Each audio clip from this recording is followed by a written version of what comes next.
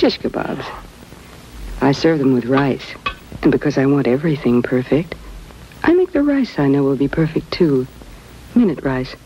Perfect rice every time. You don't boil minute rice so it can't undercook or overcook. Well, hey. It's always light, fluffy, tender. Minute rice. Perfect rice every time.